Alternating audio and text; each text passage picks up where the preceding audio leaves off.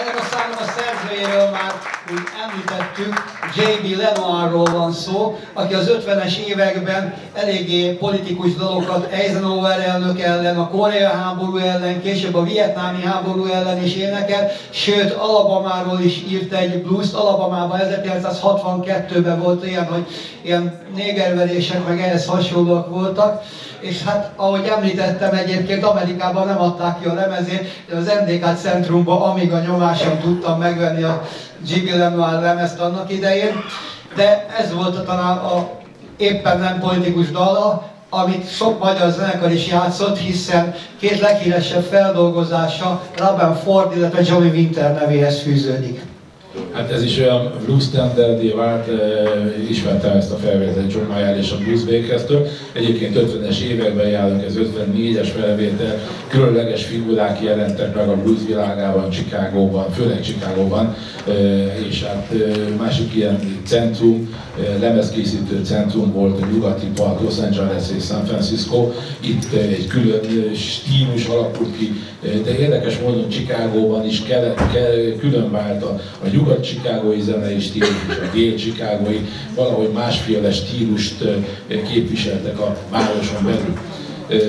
A Csesz kiadónál sorra születtek a nagy slágerek, aztán jött 1956, 56-ban a Rock minden fit és a blues zenét háttérbe sorította.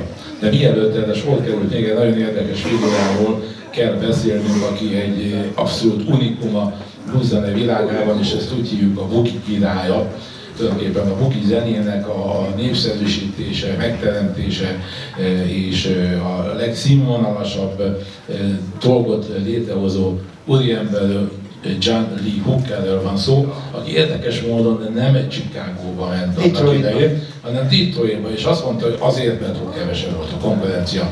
Így van, a Detroit egyébként az autógyártásnak volt a központja, sajnos manapság már, ahogy olvassuk a híreket, meg minden egyszerűen romvárossá vált, hiszen az autógyártás is elkerült onnan, és a gyárak tönkrementek. Sajnáló sorsa van Detroitnak manapság. 1948-ban készült egy felvétel, a Buki Sillen, a Buki gyermekei című dal. Bement a stúdióba, és egy úri ember készített vele egy ilyen demo felvételt, és mondta az úriembernek, akkor kezdjük, elkezdte játszani. Egymaga játszott, úgy, mint a Simon, a lábával verte a taktust, tehát az volt neki a ritmus, és játszott, játszott, játszott. És nem tetszett ez a, a stúdió vezetőjének, és mondta, játsszuk el még egyszer. Elkezdte még egyszer játszani, teljesen más énekelt, teljesen más dallal.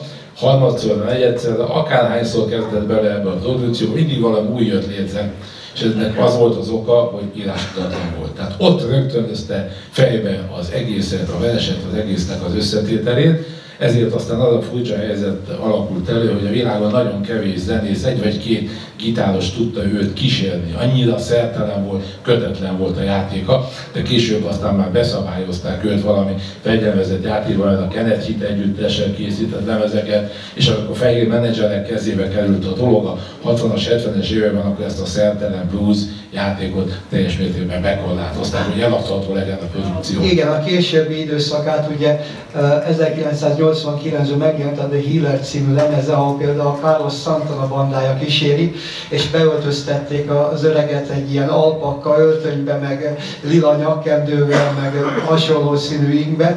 Ezt azért az ortodox bluesisták nagyon nem szerették, sokkal jobban szerették azt, amikor egyedül játszott, és hol eltalálta azt a 12 ütemet, hol 13 lett belőle, hol 11.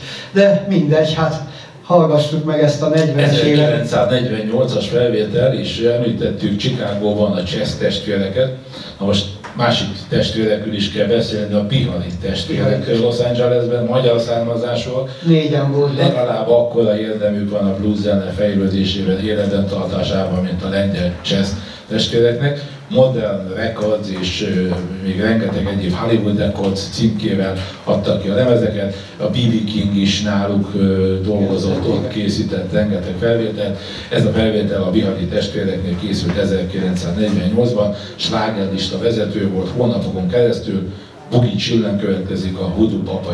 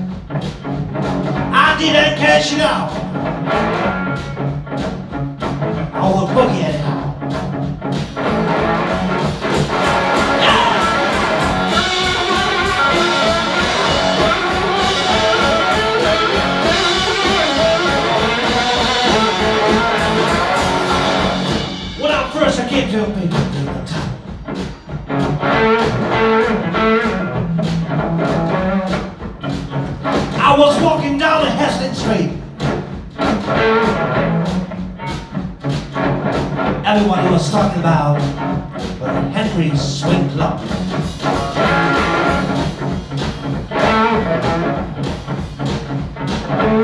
I decided I'd drop off there. When I got there, yes, people.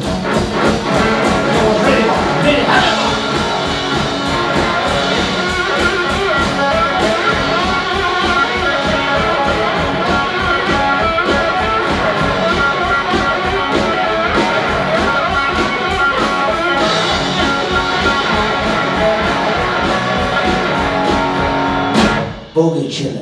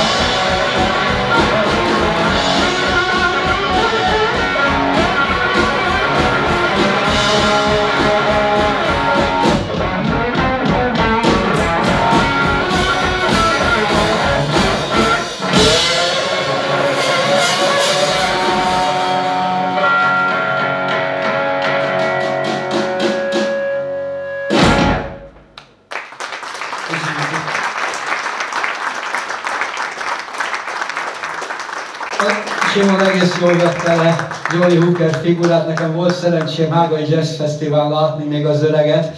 Akkor még nem ez a Szantanás történet volt. Ott ült az első sorban így a padon, illetve a széken. Akkor mellette volt egy fehér gitáros, mondjuk az öreg gitárfigurákat már a fehér gitáros játszotta, de az öreg ugyanígy dobott ott a lábával, úgyhogy jó szedted le, Simon, sokat napozol még, talán követheted is.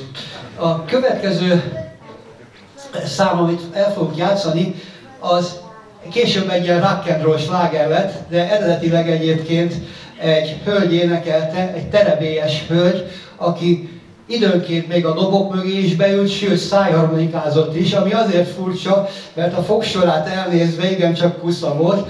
Ez a, a szám felvételen egyébként, amit egy évvel azelőtt készítette, hogy később ebből a slágerből, ebből a számból rock and roll slágert csinált Elvis Presley, azon éppen nem szájharmonikázik. Van egy nagyon jó lemeze ennek a hölgynek egyébként, a Muddy Waters zenekarral készítette, azt hiszem 1958-ban hozzáférhető és érdemes megnézni. Big Mama Soltonról van szó, aki hát, ugye a hölgyek is jelen voltak az 50-es években, Sister Rosetta Harper, vagy Billy Holiday, vagy Laverne Baker, és folytathatnám még a műfaj. De azért, hogy eltelt már két óra, és hogy itt kicsikét produktívabbak legyünk, hogy a szünetre is volt kerül, mert a szünet után kérem, hogy senki nem menjen, mert fantasztikus blues zene fog következni. Ezért most rövidre zárjuk a folytatását kérem, olvassák el a könyvben. Tehát ez csak egy étvágyi egy hangulatteremtő, ilyen kitűnő zenészekkel, hogy miről szól ez a műfaj, ez a legcsodálatosabb zenei élmény. Én mindig megtalálom benne az örömömet, mindenkinek ajánlom. Tehát most a Big Mama Sultantól a Hound Dogot halljuk 1952-ből, ezt is lenyúlt egyébként Elvis Presley. Még annyit, hogy 500 ezer példányban Big Mama Sultan lemeze óriási siker lett, Na most mindenki ül és kapaszkodja meg, 10 millió példányt adott el Elvis Presley ebből a számból. Ez minden idők egyik legnagyobb példányszámú kislemeze volt, akkor a üzlet volt egyébként. Ezt követi majd szintén a zenekartól, egy kicsit 50-es éveket befejezzük, a 60-as években megyünk túlélés, a Krém együttestől, a Crossroads, a keresztutak, amelyet említette 1937-ben Robert Johnson vett lemezze, úgyhogy így az első félidőt ezzel a blues történetének ismertetését ezzel befejeznénk, és akkor az zenekart megkérdem, hogy ezt a két nagyszerű dalt adjuk.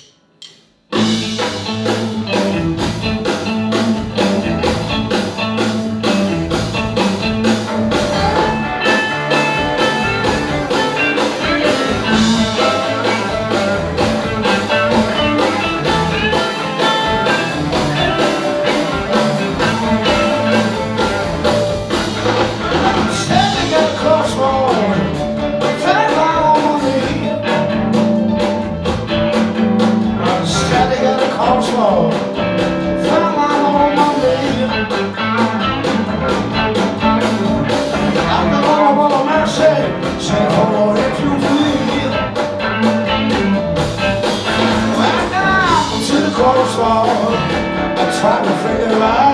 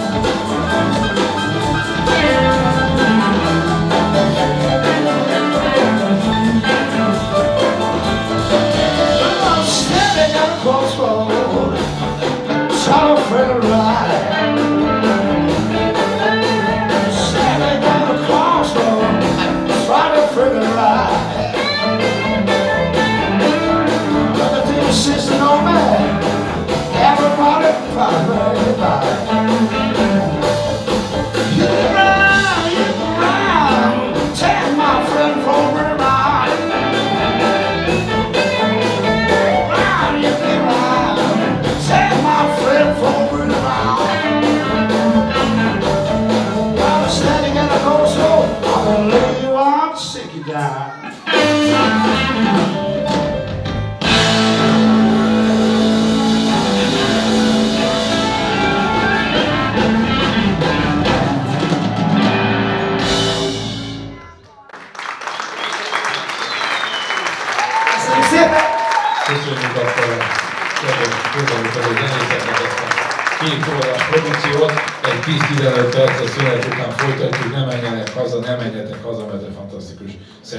south korea because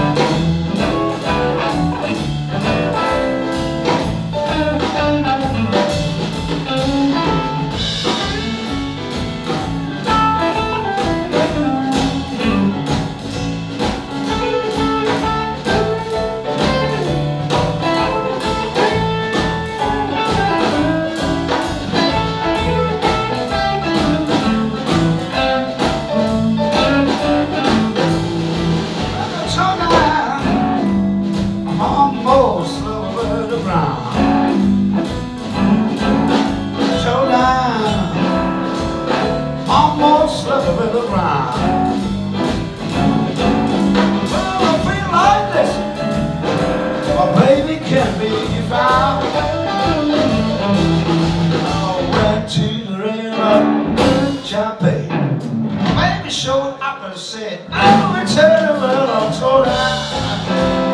Almost bubbling around. I fell off this. My baby can be found. But I love you, baby, don't mind. Heart and soul. La la la, well.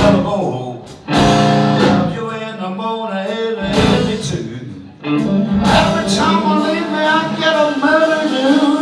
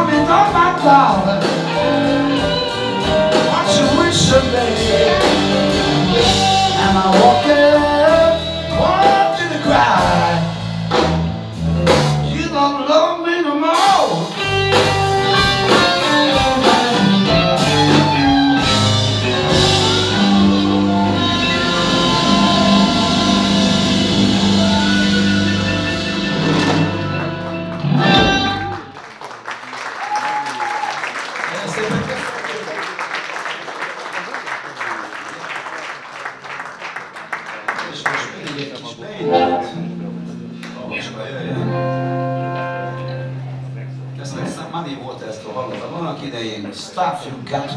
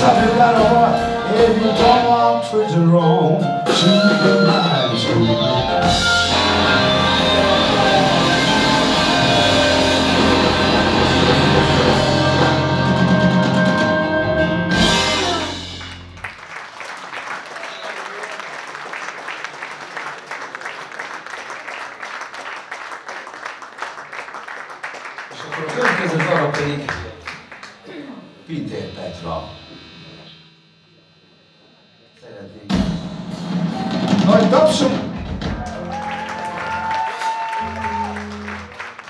Köszönjük szépen. 1926-ból Memphis Minta Kissing in the Dark.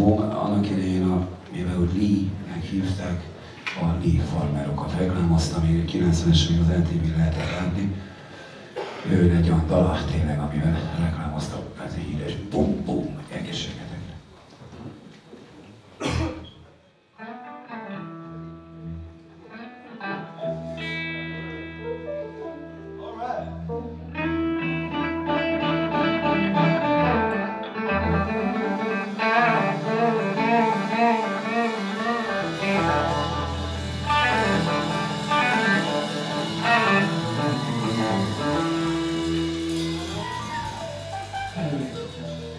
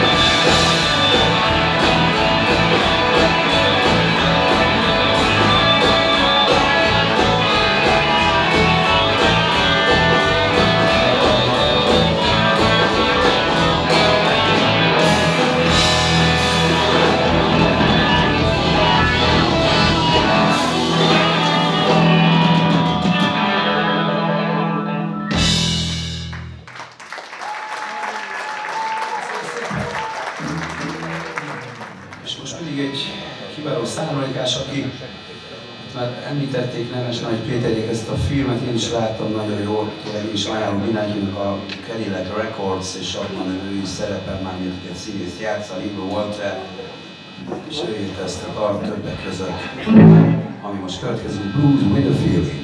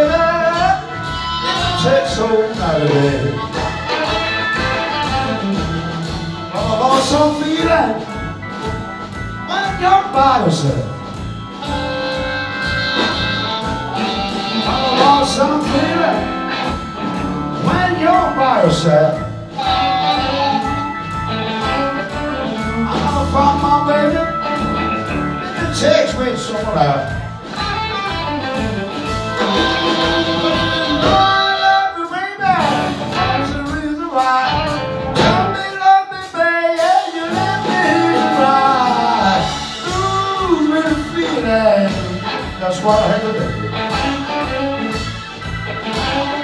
I'm gonna find my baby if it takes all night day. Come on, y'all.